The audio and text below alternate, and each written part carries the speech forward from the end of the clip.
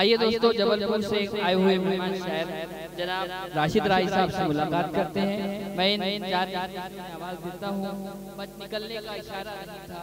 दिल के दरिया का कोई किनारा नहीं था। उसे फुर्सत नहीं थी।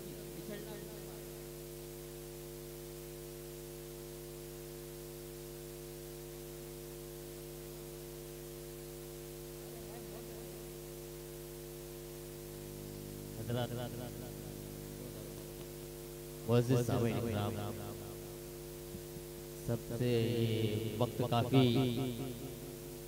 कब बचा हुआ है और कम लफ्ज़ों में अपनी बात करके जहमत तमाम मतला अर्ज़ किया जी जी कि कलंदर है। सभी की वो तरफदारी में रहता है। कलंदर है। सभी की वो तरफदारी में रहता है। उसे मत छेड़ना अल्लाह की यारी में रहता है। कलंदर है सभी की वो तरफदारी में रहता है। उसे मत छेड़ना अल्लाह की यारी में रहता है और वो जिसकी उम्र गुजरी है दगाबाजी के साए में। वो जिसकी उम्र गुजरी है दगाबाजी के साए में। सुना है आजकल वो भी वफादारी में रहता है।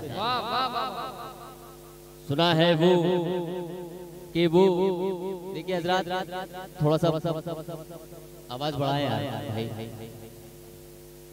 एक मतलब एक शेर पढ़ के सहमत तमाम के हर एक बात को दिल में हसीन रखता है।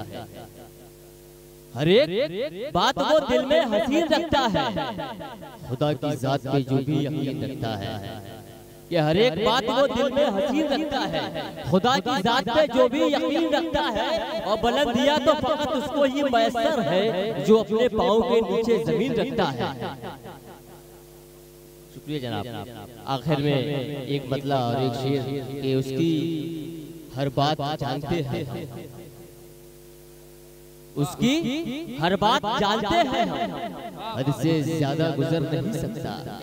उसकी हर बात जानते हैं हम। हद से ज़्यादा गुजर नहीं सकता और हद से ज़्यादा गुजर नहीं सकता। जिसकी फितरत में हो दगा करना। जिसकी फितरत में हो दगा करना। शुक्रिया जनाब